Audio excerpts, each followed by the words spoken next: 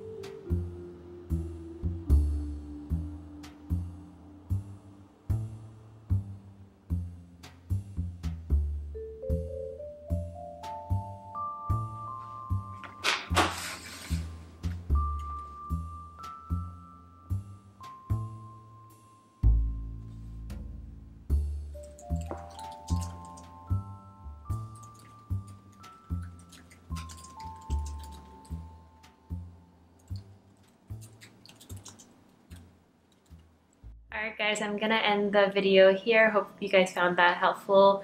Um, hope you guys were able to study and focus and not look at your phone during the past 20 minutes or so.